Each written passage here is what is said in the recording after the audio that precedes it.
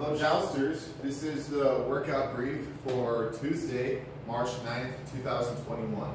The workout is every three minutes, you're going to do seven burpee box jumps and then some calories on the rower. For ladies, you're going to do 10 calories on the rower. For guys, you're going to do 14 calories.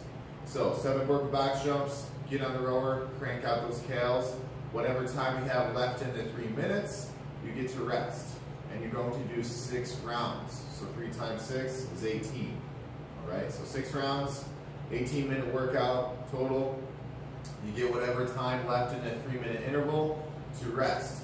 It should be at least 30 to 45 seconds of rest. If you're at home, you can do seven burpee box jumps and then one minute of cardio. If you don't have something to jump on, you can do a burpee, tuck jump, and jump up into the air. All right?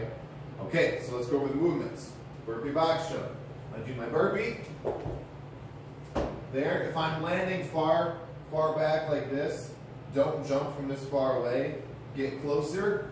Land in the box. Step up.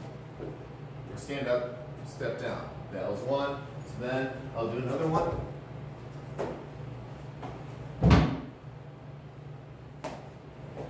go. So that was two. You gotta do seven of them, then get on the rower and crank away, get your calories in. Or, like I said, if you're at home, one minute of cardio, whatever that is. I always say try to use stairs or something else that you can do.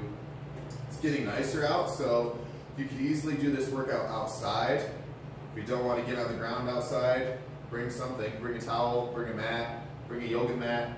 You can do this with a yoga mat, okay? All right, that's it. Work hard, have fun. See you soon.